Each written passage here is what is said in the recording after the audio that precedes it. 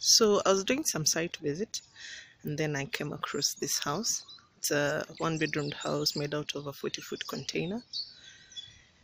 I pretty like, pretty much like what the owner did. This is not our work. Client did the house on her own start to finish. So from the entrance you can see potted plants around the house. With a very nice entry door. Not much has been done to the house.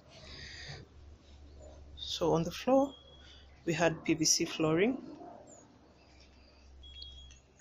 That is the kitchen. I love how creatively the owner decided to partition the spaces with purely furniture.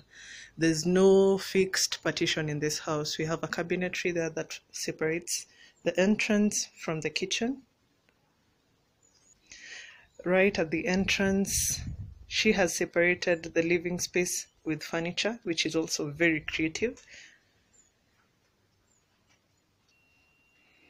She has created a living space that is simple but very practical.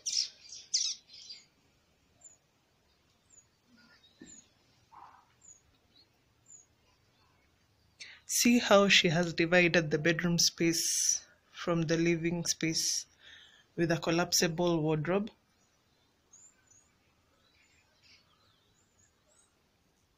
To make the house even more practical and more beautiful, she has created a back door that you can access closely to the bedroom.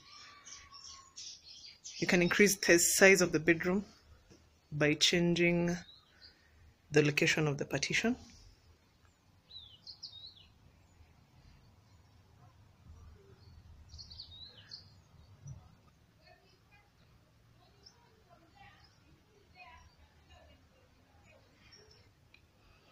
She has a compost toilet that is very practical in this kind of housing.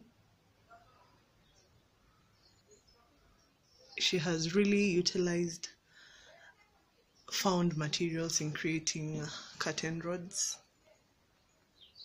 Very creative curtain rod hooks.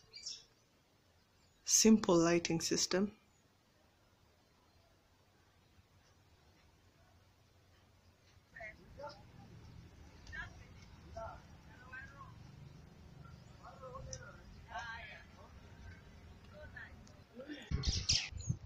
you intend to do a container house on a budget, this is one of the simplest yet most practical way of doing a house. Doesn't cost much, but it's still a house you can use.